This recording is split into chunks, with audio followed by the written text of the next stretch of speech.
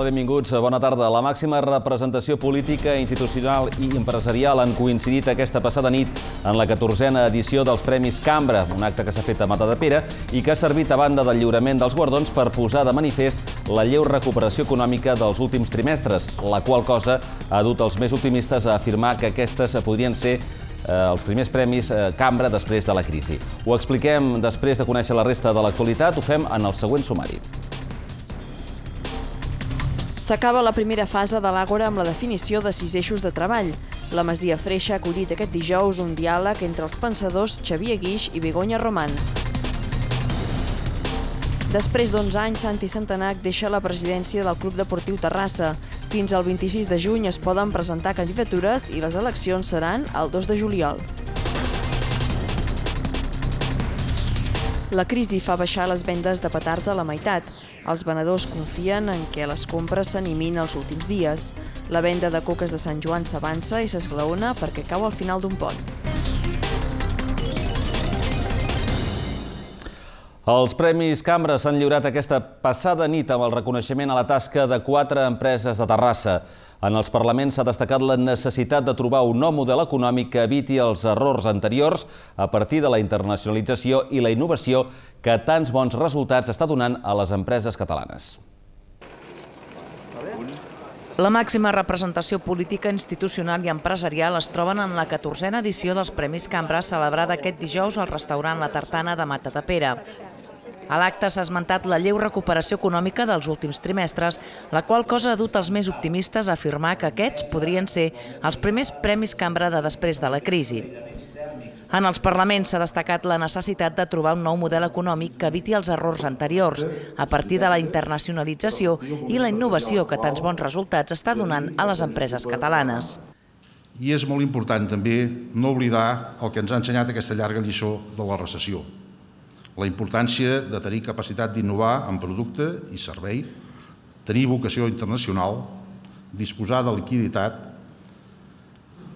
i un apalancament controlat, gestionar bé els costos i potenciar el talent. És el que necessita el país, repensar a fons l'economia, sumar capacitats i forces, fixar i acordar objectius comuns, enfortir els interessos generals, construir autèntics horitzons de futur com una autèntica, amb una autèntica visió de futur. És a dir, el que saben fer tan bé les millors empreses com les que aquesta nit han estat premiades. Catalunya necessita un model econòmic que generi riquesa però que al mateix temps permeti garantir la cohesió social, la cohesió territorial com a pilars bàsics del nostre estat del benestar.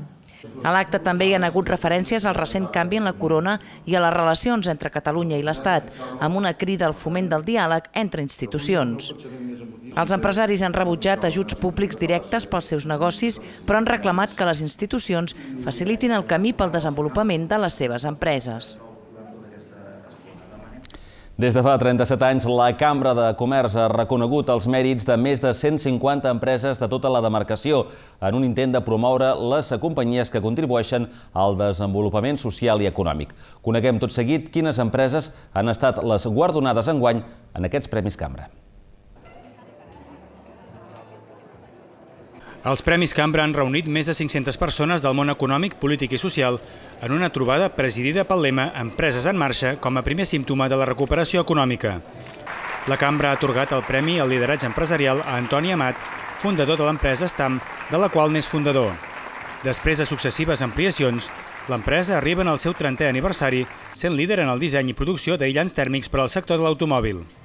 El relleu generacional ha estat el verdader artífex d'aquesta expansió. Jo només tinc el mèrit d'haver abdicat a temps i haver, i haver deixat fer el binomi format pels meus fills. La cambra ha atorgat el premi a l'empresa de nova creació a Somnis Mir de Terrassa i Stick and Ready, que es dedica a la producció d'etiquetes personalitzades resistents a l'aigua, la calor i el fred. Pel que fa a la millor iniciativa empresarial, el reconeixement ha estat per l'empresa Pont Aureli Armengol, també de Terrassa. Dedicada a la producció de teixits punxonats per l'automoció, l'empresa explora constants especialitats des de la creació del seu primer èxit, la fabricació de teixit per a sabatilles. Els premis a la internacionalització han estat per Europastri, una empresa de Sant Cugat que es dedica a la producció i distribució de massa de pa congelada i venda de pa i brioixeria. L'altre reconeixement ha estat per Germans Boada, una companyia de fabricació d'eines per al tall de ceràmica i paviments de Rubí. Els Premis Cambra la Responsabilitat Social Corporativa han estat per Continental Automotive Spain, de Rubí, a qui se li reconeix la integració d'un sistema d'eficiència energètica a tota la producció. L'altre guardonat en aquesta categoria ha estat Distribuciones Touchland de Sant Cugat del Vallès, que integra la promoció de l'estalvi energètic a la distribució de dispensadors ergonòmics per a la higiene de mans. Les empreses que han tingut la millor iniciativa comercial i de serveis han estat Clinic Bikes de Sant Cugat, dedicada a la venda de bicicletes i que ha incorporat un nou concepte de punts de distribució. L'altre premiat és la terrassenca Ponte Más Fuerte, que es dedica a la comercialització per internet de productes de suplementació esportiva. La cambra reconeix les empreses que millor gestionen el talent, la formació i el coneixement. AC Mutual, una entitat amb filials a Rubí i Sant Cugat que col·labora amb la Seguretat Social prestant assistència i cobertura als mutualistes que han patit accidents de treball i l'altre guardonat, el grup Baguindauto de Terrassa, que es dedica a la comercialització d'equips de diagnosi per al vehicle convencional i l'elèctric, a la formació multimarca i a comercialitzar paquets d'informació tècnica. Per l'impuls a la innovació, la recerca i el desenvolupament, la Cambra ha reconegut a l'empresa de fabricació d'implements per a maquinària d'obra pública, jardineria i manteniment Euroimplementos de Sant Cugat del Vallès i a Grifoll Print Promotions de Rubí, una indústria gràfica que es dedica a la impressió de paper i plàstic amb acabats especials. Canviem de tema, us parlem a tot seguit de la reestructuració interna a l'Ajuntament de Terrassa amb la dissolució de Vapor Universitari i Terrassa Neta. D'una banda, el Vapor Universitari s'integrarà a Foment de Terrassa i pel que fa a Terrassa Neta es fusionarà amb Ecoequip. En tots dos casos, els treballadors mantindran el seu lloc de feina amb les mateixes condicions. Després de la integració del Patronat Municipal d'Educació en l'estructura de l'Ajuntament a principis d'aquest any, l'equip de govern fa un nou pas en la reestructuració interna del consistori. El vapor universitari i Terrassa Neta seguiran un procés similar i desapareixeran just un any després. El ple del mes de juny ha d'aprovar l'expedient necessari per iniciar els tràmits de la dissolució d'aquestes empreses municipals i encarregar un estudi sobre la manera més adient de fer-ho. Per això és bo eh, en un període tenir un període d'estudi profund eh, per, per realment veure quines implicacions, perquè és important també escollir el moment més oportú per fer-ho. Eh, si en algun moment es derivés alguna despesa que poguessin evitar, doncs, evidentment esperaríem. El vapor universitari s'integrarà a Foment de Terrassa. D'aquesta manera, l'empresa municipal comptarà amb una doble vessant. D'una banda, formació, ocupació i emprenedoria, de l'altra, la gestió del patrimoni immobiliari de la farinera i el propi edifici del vapor. Pel que fa a Terrassa Neta, es fusionarà amb Ecoequip, que haurà d'assumir la gestió de la deixalleria municipal de Can Barba i el centre d'atenció d'animals domèstics. En tots dos casos, els treballadors, una trentena entre les dues empreses, mantindran el seu lloc de feina amb les mateixes condicions laborals, però de forma subrogada a les empreses matriu. No es tracta aquí de fer fora ningú, que això, per suposat, que tothom estigui tranquil que l'objectiu no és aquest, és senzillament eh, simplificar aquesta estructura que pensem que en el seu moment va tenir sentit i va portar tota una sèrie de beneficis, però que en aquests moments ja la normativa és pràcticament igual i eh, realment l'únic que tenim és segurament algun Consell d'Administració més. L'existència d'algunes empreses i instituts municipals prové dels anys 80, quan els primers ajuntaments democràtics les van crear per oferir determinats serveis de forma més àgil i flexible. Amb els anys, però, les lleis van canviar i es va iniciar un procés de recentralització, sobretot amb l'arribada de la crisi. A Terrassa, el consistori va impulsar el 2009 un pla d'eficiència i austeritat que va aprofundir en la simplificació del seu teixit societari, les economies d'escala i compartint gerències. I més informació municipal. El Partit Popular demanarà en el ple d'aquest mes de juny ampliar l'horari de les terrasses de bar, en concret que tanquin una hora més tard que fins ara. Una altra de les peticions de la formació popular és que la temporada d'estiu de les terrasses s'avanci al mes de març, amb l'inici de la primavera i de la Setmana Santa. El grup municipal del Partit Popular demana l'ampliació de l'horari de les terrasses de bar. La formació proposa que els locals de restauració puguin tancar una hora més tard. Actualment, en temporada d'hivern, és a dir, de setembre a finals de juny, les terrasses han de tancar a les 11 de la nit entre setmana i a les 12 els caps de setmana. De juny a setembre ho poden fer una hora més tard. Precisament una altra de les peticions dels populars és que la temporada d'estiu, en lloc de començar a finals de juny, s'adalanti al mes de març per coincidir amb l'inici de la primavera i les vacances de Setmana Santa. El PP ho sol·licitarà mitjançant una proposta de resolució en el proper ple municipal. ¿Por qué solicitamos esto?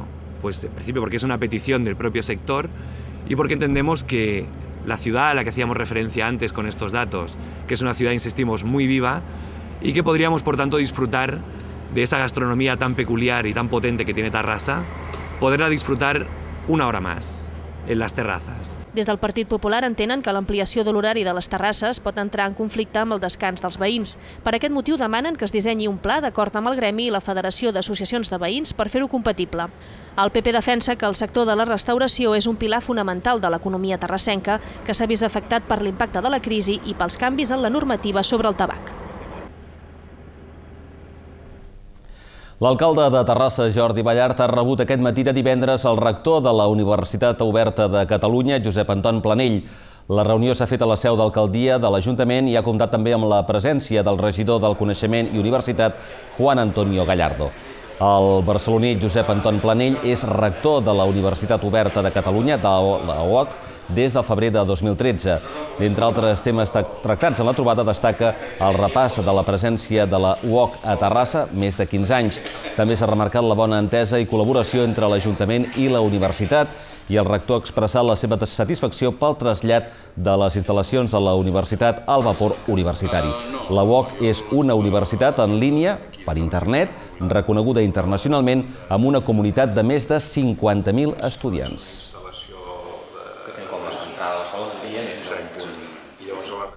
El procés de participació ciutadana Àgora Terrassa ha establert un diàleg obert aquest dijous. Els protagonistes han estat el psicòleg Xavier Guix i la filòsofa Begoña Roman.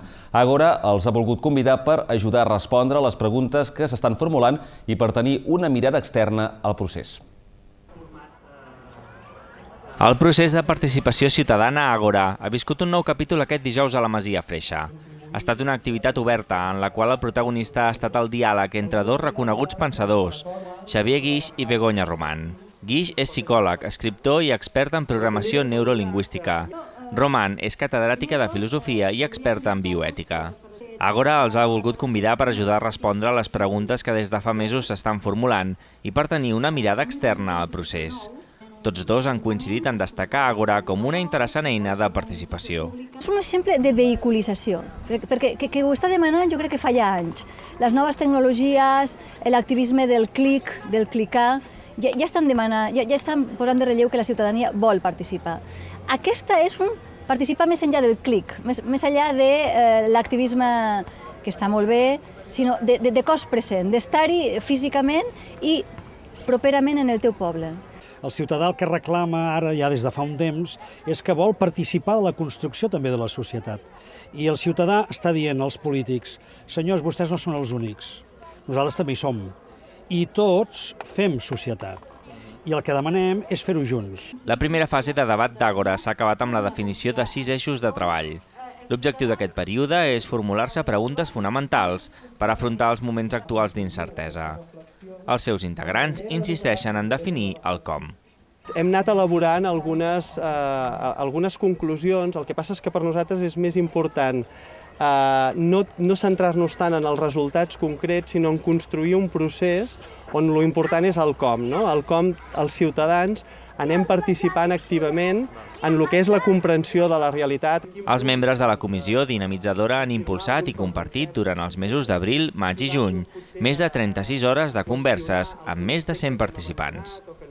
Això ens ha portat durant els la legislació vigent estableix que el Saló de Sessions de tots els ajuntaments de l'estat espanyol han de tenir una imatge del rei. Cada ajuntament decideix quin tipus d'imatge hi posa, ja sigui una fotografia o bé una escultura. A Terrassa hi ha un bust de Joan Carles I. En els últims dies, la Casa Reial ha ofert a tots els municipis l'enviament d'una fotografia oficial del nou rei Felip VI per substituir la imatge de Joan Carles I. El govern municipal encara no ha decidit si al Saló de Plens hi posarà un bust, com fins ara, o es decantarà per la fotografia oficial que espera rebre en els propers dies. No està clar, doncs, si al ple de dijous vinent ja hi haurà la fotografia de Felip VI o encara el bust del seu pare. En cap cas, la imatge de Joan Carles no es retirarà del Saló de Plens fins que no es pugui substituir per la de Felip VI.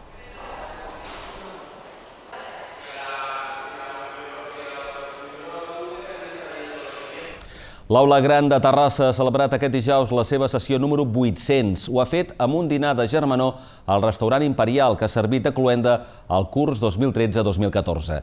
Hi ha assistit l'alcalde de Terrassa, Jordi Ballart, acompanyat de la regidora de promoció de la gent gran, Josefina Soler. Tutelada per la Universitat Politècnica de Catalunya, l'Aula Gran es va fundar l'any 1991 amb l'objectiu de promocionar i difondre la cultura de l'àmbit universitari entre la gent gran mitjançant conferències i activitats culturals. Durant el curs 2013-2014 ha organitzat 33 conferències, dos seminaris de música, un quadern de pràctiques de narració i dues sortides culturals. En les darreres sessions han participat a l'aula gran el meteoròleg Francesc Mauri, l'escriptor i viatger Enric Soler, l'escriptor Vicenç Villatoro, el biòleg Francesc Lozano i el cineasta Josep Vidal, entre d'altres. Gràcies a moltes persones grans, gràcies a... Moment ja per la informació esportiva. El dirigent del centenari del Club Deportiu Terrassa, Santi Santanac, deixa la presidència de l'entitat. El 26 de juny, la setmana vinent, és l'últim dia per presentar candidatures de cara a les eleccions del 2 de juliol. Santanac ens ha fet balanç dels 11 anys com a president del Club de les Pedritxes. Després de 16 anys a la Junta Directiva, els 11 últims com a president, Santi Santanac deixarà en 10 dies la presidència del Club Deportiu Terrassa. Aquest últim mandat de 6 anys expirava el 2017, però el dirigent agarenc creu que és el moment de deixar-ho. És una decisió que està presa de fa mesos i és bo que hi hagi un relleu, que aporti noves idees, noves formes d'actuar, noves, noves visions i, home, tot no, no ens hem d'amagar i és una cosa evident que amb l'entorn econòmic actual de crisi pues, eh, té més desgast. No? En els anys que ha estat president, Santanac n'ha vist de tots colors. L'equip femení ha sumat 5 lligues i 4 copes de la reina, però també ha vist com l'equip masculí i el femení perdien la categoria, tot i que el primer l'acaba de recuperar. Tot i això, serà recordat per ser el president del centenari, motiu pel qual el club va rebre la Creu de Sant Jordi. Va ser un treball pues, de molta gent per, per fer veure pues, al, al govern català pues, que el Terrassa havia fet els mèrits amb la seva història per aquest reconeixement i l'hem aconseguir. L'hem pogut disfrutar tots, vull dir, ha sigut un centenari obert a, a tots els socis, a no socis, a, mm, molt emotiu, molt atractiu i, i, i a la vegada molt valuós pel, tal com està avui en dia tot l'entorn econòmic. No? El president del Club Deportiu Terrassa assenyala que la seva junta directiva deixa al més alt nivell les escoles d'hoquei, tennis i pàdel i que ha hagut de lluitar contra la crisi econòmica. El terrassenc defensa els anys de gestió i creu que les balances estan equilibrades. A l'inici de la crisi doncs, el, el pressupost del club estava desequilibrat, avui més o menys està doncs, ja equilibrat les despeses amb els ingressos. Hem procurat a nivell de junta directiva i, i jo, doncs, com a impulsor de que el club s'anticipés a prendre les mesures eh, més, més, més adequades doncs, per, per evitar situacions de, de tensió. Sobre el futur és optimista i demana màxim consens per a la propera junta directiva. Ojalà doncs, només hi hagi una candidatura i que sigui una candidatura consensuada entre tots i que facin equip i que seria el millor pel club, perquè no, no crec molt oportú que hi hagi més d'una candidatura i per, perquè tens el risc que hi hagi una fractura pues, dins del club que no seria bona. El 26 de juny és l'últim dia per presentar candidatures. L'1 de juliol s'ha convocat l'Assemblea Extraordinària, on es votarà tornar al mandat de 4 anys. Les eleccions seran el dia següent. I ara futbol, us parlem d'un nen de només 6 anys, Gaizka Hernández, que ha estat fitxat pel Futbol Club Barcelona. Fins ara havia jugat amb la Unió Deportiva Cantries. La passada temporada, aquest agrenc del barri de Can Boada va marcar 136 gols. És un davanter esquerrà hàbil i amb un potent xut que no ha passat desapercebut pels caçatalents. Una i otra con otra. No, Gaizka Hernández té 6 anys i en fa només dos que va començar a jugar a futbol a la Unió Deportiva Cantries, però els 136 gols que va aconseguir la temporada passada no van passar desapercebuts pels caçatalents dels clubs més potents.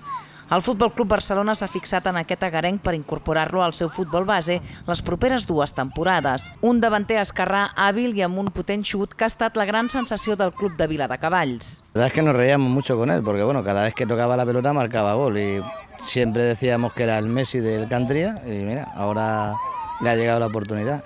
Hombre, la verdad es que para nosotros es más que un orgullo pensar que un chaval tan pronto puede tener la oportunidad en un equipo de, de pensamos que es de lo mejor de España y que se hayan venido a fijar aquí, un equipo de barrio que trabajamos día a día para esto, que se curte, que se haga buena persona y que disfrute jugando al fútbol, que creo que para lo que están aquí, ¿no? Gaizka és molt culer i sent devoció per Leo Messi, un nou diamant en brut que s'haurà d'anar polint al llarg d'aquests anys i que demostra el gran treball realitzat pel futbol ballesà. Una setmana abans de la celebració de la Night Running Series, que s'ha de celebrar a Terrassa el 18 de juliol, la ciutat de Sant Cugat del Vallès organitza la segona edició de la Moon Race, també una prova nocturna. La prova que aquest any, però, tindrà una vessant solidària.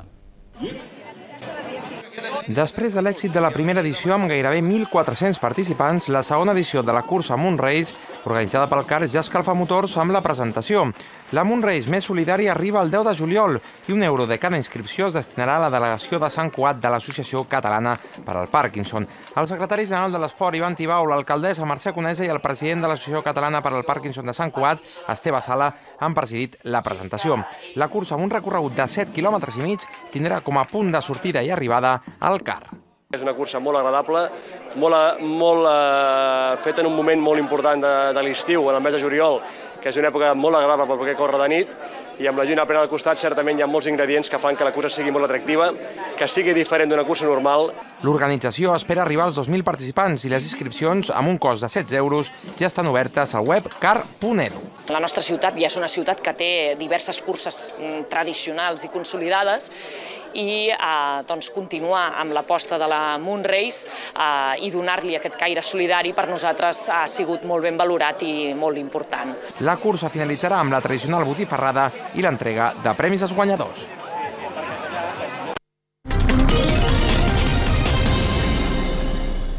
Se'ns acosta un llarg eh, pont amb la rebella de Sant Joan. S'acosta Sant Joan i amb ell la nit més curta o més llarga del món, depenent com es miri, i també sorollosa. Les vendes de petards ja han començat, però de, fora, de forma tímida. Els coets i les bengales són els productes pirotècnics més demandats, però entre els més joves triomfen els trons. Les botigues de petards esperen que les vendes s'animin aquesta setmana després d'uns dies de pluja i temps inestable. La crisi ha fet baixar les vendes a la meitat i ara el consumidor és més curós a l'hora d'escollir quins petards s'emporta. Els de so, com els trons i les piules, són els que tenen més èxit entre els joves. Però els coets, les fonts i les bengales són encara els més demandats. Aquí a Catalunya, bàsicament, color menys el, més aviat la part més jove, tro, això sempre, no canviarà, però el color. Sí, carcasses de palmeres, coets amb color, tot de color és el que et tira més. Abans hi havia més gent, més adults, que anava a comprar petards grossos per passar-s'ho bé i ara mateix és més carrer pels nens, perquè s'entretinguin, compres grans de bateria, etc està una mica parada, perquè són coses que són més cares, però perquè són més importants, però la gent s'estima més estar més estona tirant petards que no una cosa molt espectacular. Els lots econòmics anticrisi han proliferat els darrers anys. Internet és, en aquest sentit, un nou espai on el consumidor pot trobar ofertes d'aquest tipus. Tot i així, el que s'acosta a la caseta no acostuma a deixar anar menys de 30 o 40 euros. Yo, pues para mis nietos pequeñitos, un pack que hay de niños pequeños para los para 5 años, ya está. No he comprado nada más. Petardos, bombetas, fuentes, bengalas, cohetes, un poco de todo, para los críos. Unos 49 euros me ha costado todo esto. Está bien, para dos críos está muy bien. A Terrassa hi ha autoritzats 17 punts de venda de petards que estaran oberts tots els dies fins al dia 23 al vespre. Com sempre, no cal dir-ho, cal precaució a l'hora de manipular els petards i, sobretot, molta prudència. Les pastisseries també han començat a treballar aquests dies preparant les tradicionals coques de Sant Joan. Els més previsors ja han fet les primeres comandes i al caure al final d'un pont, les vendes s'esglaonaran.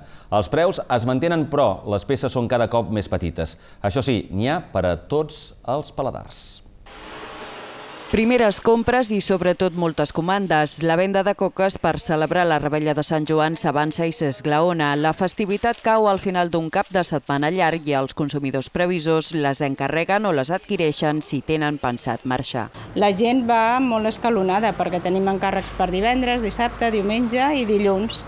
No és només d'un dia sol. El Gremi de Pastisseria de Barcelona preveu vendre a la província al voltant de 900.000 coques, 1.600.000 a tot Catalunya. Són les mateixes xifres que en campanyes anteriors. El que sí s'ha notat d'ençà de l'esclat de la crisi és que les peces són cada vegada més petites. Per compensar i complir les expectatives dels paladars més exigents hi ha més varietat. La típica, típica de Sant Joan és la de fruita, que és la de pasta de brioix amb pinyons i fruita. Després aquesta mateixa la fan farcida, també la demana la gent, de nata o de crema, la de crema cremada agrada molt, de trufa també en demanen, de cabell d'àngel, la de llardons de pasta de full i la, la de brioix de llardons també. Volem fer una que és farcida de, de pasta de brioix amb fruita i posar-la amb xocolata o també de pasta de full i farcida de cabell d'àngel o de crema. Els preus també es mantenen des de fa uns anys. La coca farcida va a 28 euros al quilo. El gremi calcula que una família de 4 persones es gastarà entre 16 i 35 euros aproximadament. Els pastissers confien en l'arrelament de la rebella i esperen que no falti la coca, acompanyada d'una copa de cava a cap reunió familiar o d'amics la nit del 23 de juny. Doncs que aprofiti, que vagi bé.